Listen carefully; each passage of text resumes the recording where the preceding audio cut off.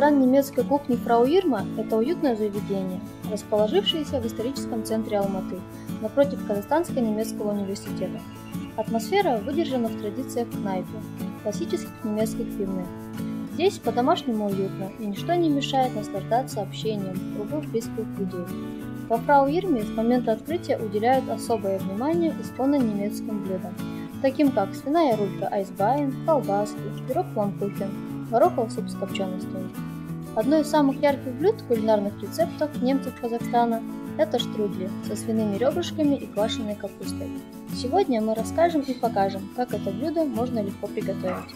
Поможет нам в этом Виктор, шеф-повар первого кнайпа в Казахстане Фрау Ирма. Для приготовления немецкого шницеля нам понадобятся домашние яйца, а, буквально одна штука, для одной порции будет более чем достаточно, оливковое масло, немного растительного для смазки дальнейшей раскатки теста, сухие дрожжи, а, мелкая соль и, конечно же, сахар. Ну и самый основной ингредиент это мука. Мука и минеральная вода. Итак, начинаем. А, берем полстакана воды. Я буду работать э, приблизительно на глаз, поскольку я уже знаю, чего сколько нужно. Наливаем воду. Смешиваем для начала дрожжи и сахар, чтобы дрожжи начали работать. Чайная ложка сухих дрожжей, столовая ложка сахара.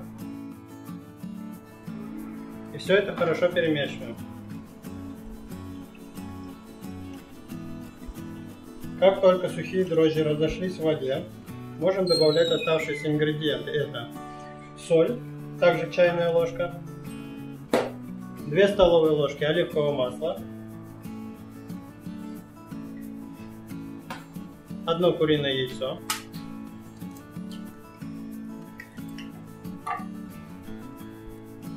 все хорошо смешиваем еще раз. и начинаем добавлять муку небольшими порциями, потому что если добавим воду, тесто будет уже не таким упругим.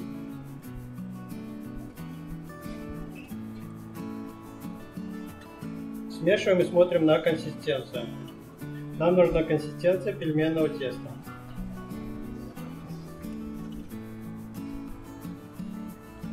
У меня еще жидковато, добавлю еще немного.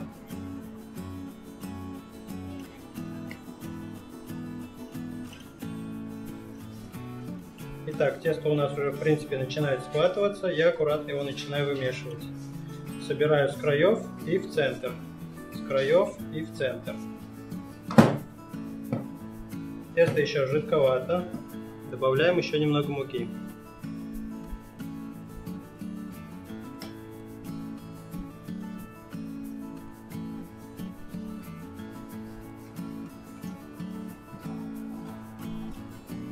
Все хорошенько вымешиваем. Тесто уже становится более упругим и эластичным.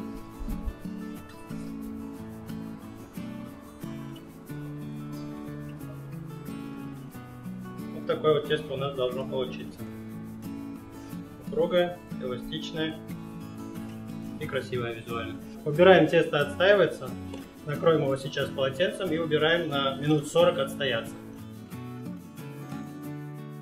Тесто у нас уже готово, мы его накрыли, убрали в сторону, оно у нас отстаивается. Начинаем подготавливать основные ингредиенты. Это овощи, такие как лук, морковь, чеснок, ну и, соответственно, сами ребра. А в нашем заведении мы готовим наш трудель из запеченных, из томленых свиных ребер, с добавлением также сливочного масла, ну и, соответственно, квашеная капуста. Ну и в завершении нотка весны, лета – это зелень, зеленый лук и петрушка. Начинаем нарезать лук. Лук режем крупным кубиком.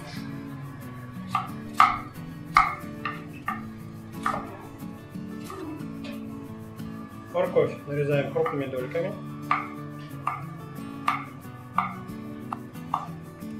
Этого будет достаточно для одной порции.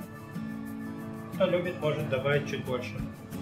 Чеснок раздавливаем. И также крупно его ножом в хаотичном порядке. Пару зубчиков, думаю, будет достаточно. Также хаотично.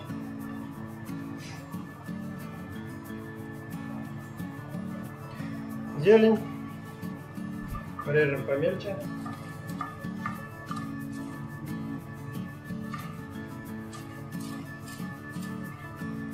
Лук с петрушкой можно положить вместе. Сколько мы их закладывать будем тоже одновременно.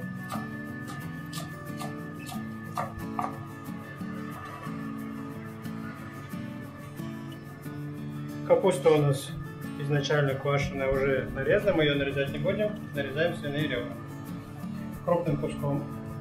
Поскольку они у нас уже, как я и говорил, томленые, и если мы их нарежем чуть меньше, они у нас просто-напросто растворятся, и мы их не увидим.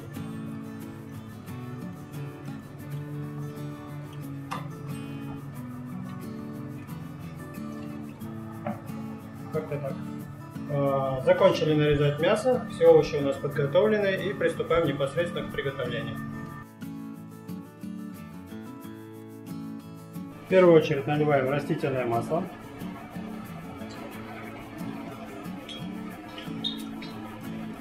Даем ему немного раскалиться.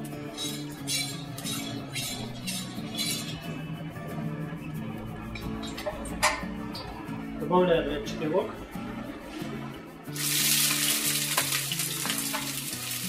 Перемешиваем. Поскольку масло у нас раскалено, чтобы равномерно прожаривался, нужно помешать. Можно сразу же добавить морковь. Также перемешиваем.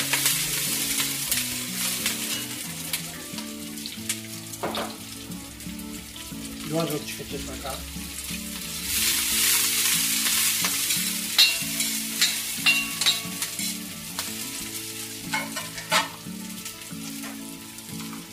Конечно же, сами ребра.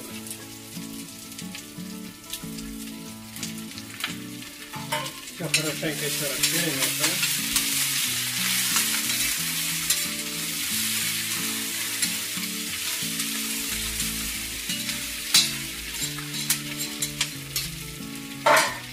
Слегка присаливаем,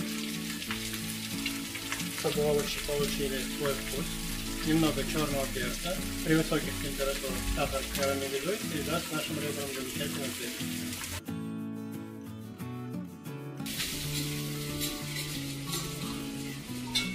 Овощи у нас уже поджарились.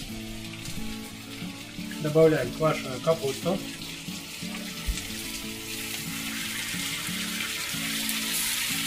Все разровняем. Аккуратно и заливаем горячей воды.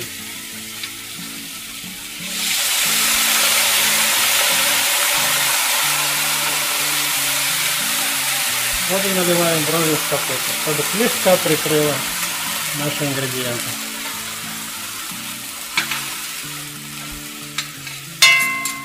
Кладем картофель. Картофель я не нарезаю, потому что при подаче это будет своеобразная фишка будет, во-первых, красиво, во-вторых, все оставшееся блюдо, основное блюдо, будет красиво и аккуратно лежать на картофеле. И закрываем этой же чашечкой. Минут 40, я думаю, будет достаточно.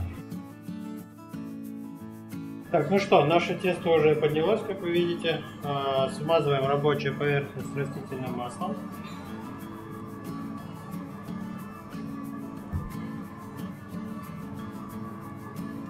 Выкладываем тесто. Начинаем потихоньку вытягивать прямоугольный пласт, чтобы в дальнейшем все выровнять.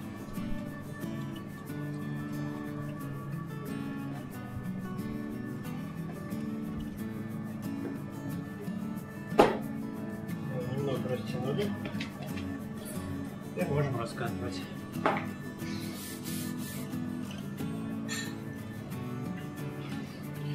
Слишком толсто, не слишком тонко, приблизительно пол сантиметра толщиной.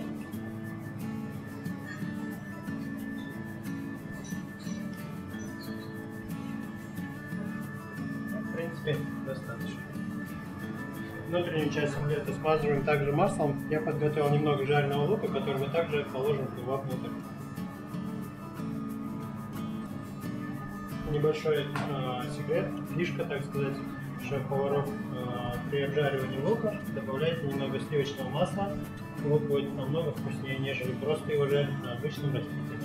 Ну, в принципе, раскатали, смазали и, собственно говоря, можно заворачивать. Кому как удобно. Кто-то собирает, кто-то в середине. Сворачиваем где-то. Как можно плотнее.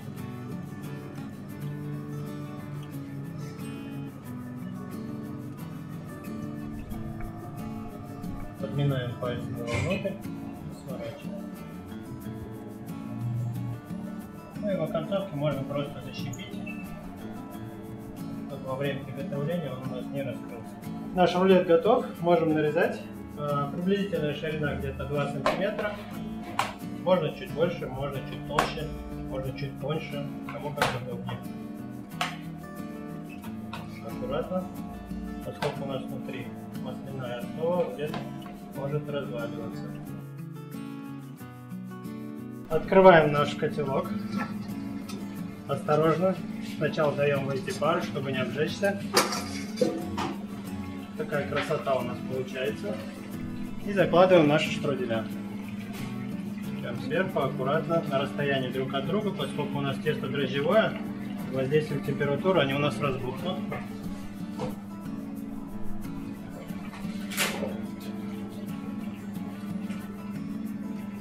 Картошечку можно чуть-чуть подвинуть.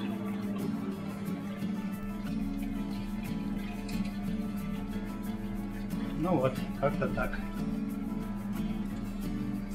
Добавляем пару кусочков сливочного масла.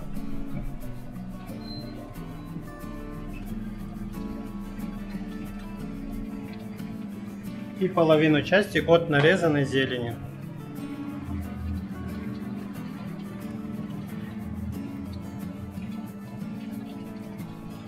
Накрываем снова. И оставляем также еще минут на 25-30. Так, ну что, наше блюдо готово. Открываем. Осторожно также даем выйти пару.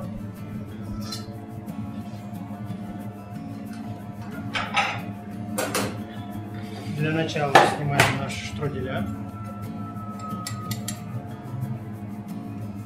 Выкладываем их пока что отдельно.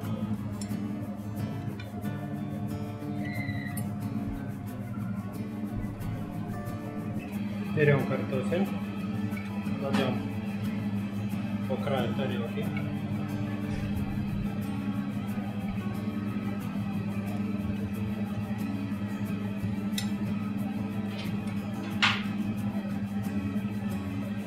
Выкладываем наше основное блюдо, свиные ребрышки с капустой.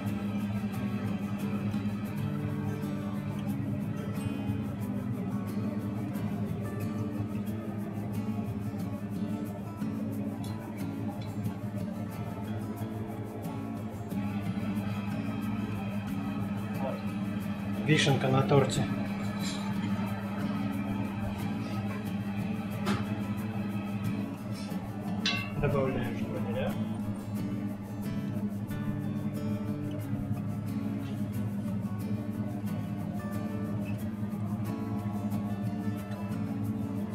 Присыпаем оставшейся зеленью сверху. Наш знаменитый немецкий штрудель готов.